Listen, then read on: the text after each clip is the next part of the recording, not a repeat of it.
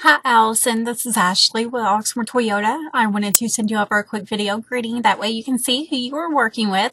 Thank you for taking the time to speak with me about your credit application.